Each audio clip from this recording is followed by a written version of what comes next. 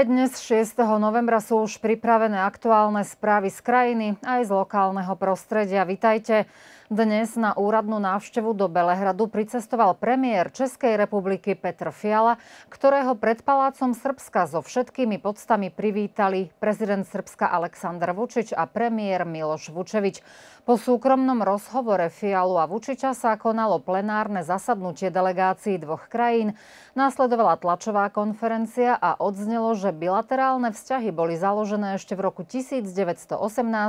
Dodnes sú priateľské a charakterizujú charakterizuje ich rozvinutá spolupráca vo viacerých oblastiach, aj intenzívny a kontinuovaný politický dialog.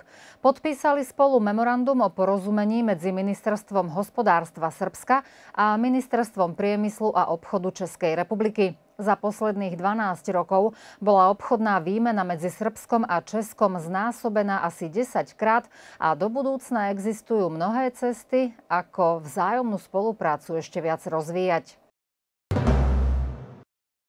Minister financií Siniša Mali vyhlásil, že vláda Srbska na zajtrajšom zasadnutí bude rozoberať návrh rozpočtu na rok 2025.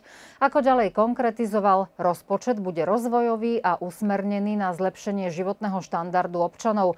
Podľa jeho slov bude sa pokračovať s politikou týkajúcou sa zveľaďovania štandardu života občanov.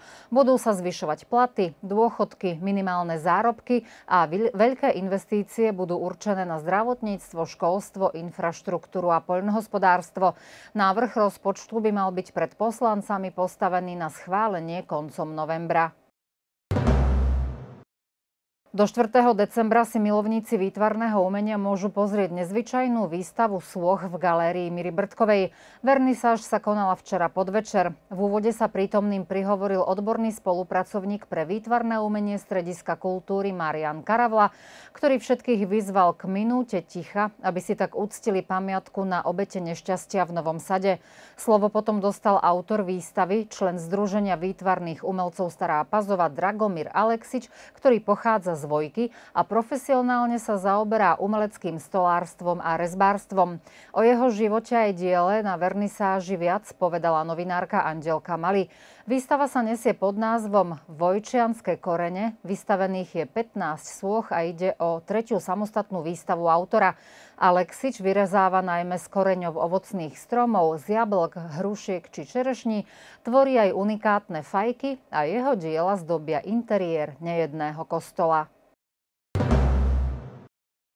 Pred pár dňami si oltárny krúžok žien pripomenul 50 rokov od vzniku a pri tej príležitosti odznelo, že aktuálne pri cirkvi pôsobia až tri oltárne krúžky.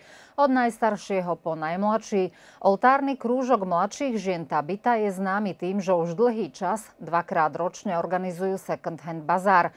Pripravuje sa ďalší, jesenný, v poradí už 33., ktorý bude opäť na starej evanielickej fare a konať sa bude v termíne od 11. do 15. novembra v čase od 14. do 19.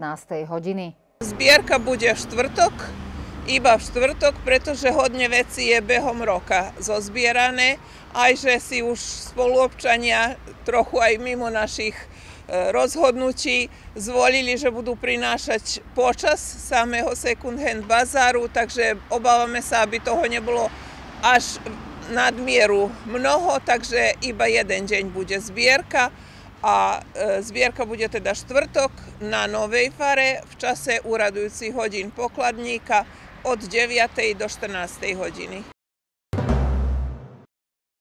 Nazrieme ešte do oblasti kuchyne. Ďalšiu správu pripravila kolegyňa Jelena Bugarinová, ktorá sa zamerala na tému čoraz používanejšej bravčovej masti, ktorá bola kedysi hojne využívaná, ale neskôr ju nahradili rôzne rastlinné oleje.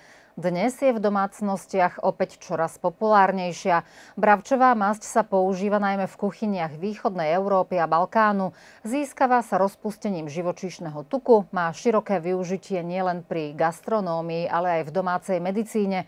Táto masť má vo svojom zložení ideálny pomer esenciálnych mastných kyselín, ako sú kyselina olejová, ktorá pomáha znižovať hladinu cholesterolu, preventívne pôsobí proti cukrovke a očným ochoreniam. Kys Kyselina linolová spomaľuje rast tukového tkaniva, zabraňuje ateroskleróze, vysokému krvnému tlaku a má priaznivý vplyv na funkciu nervov a srdcovo systému.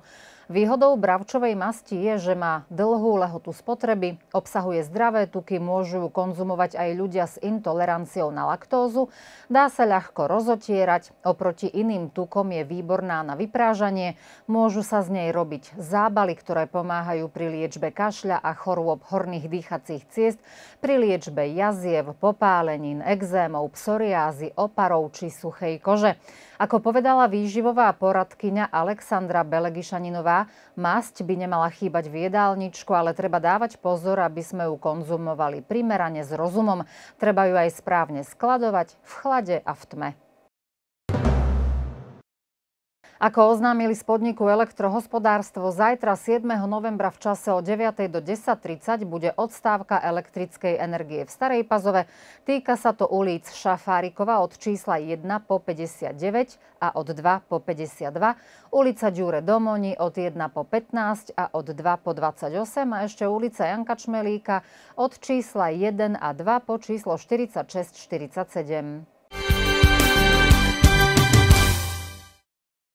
Volejbalistky jednoty zo Starej Pazovy zvíťazili v rámci 5. kola Banka Poštonská štedionica Superligy Srbska. Včera večer na domácom teréne hrali proti súperkam z Užíc. Výsledok 3-0 po setoch 25-18, 25-19 a 25-21. Súperky z Užíc sú veľmi silné súperky, ktoré doteraz v tejto sezóne nepoznali prehru, no zverenkyne staropazovského trénera Jovu Cákoviča sa rozhodli, že tento zápas budú mať vo svojich rukách a boli dominantné od samého začiatku. Z domáceho týmu boli najúspešnejšie hráčky Aňa Zubičová, ktorá získala 22 bodov a Andela Kukilo 14 bodov. Zo súperiek sa darilo najviac Užičanke Márii Tomaševičovej, ktorá pre svoj klub získala 13 bodov. V ďalšom kole Pazovská jednota hostuje v Obrenovci, kde si sa zahrá s klubom Tent.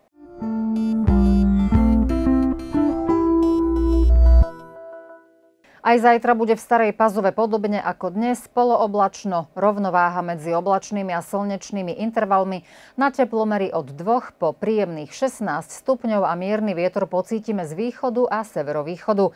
A na záver ešte dve aktuálne mená. Vo Vojvodine meniny oslavuje dnes Renáta, zajtra Bohoľub. Správy sa práve skončili, želáme vám príjemný zvyšok dňa.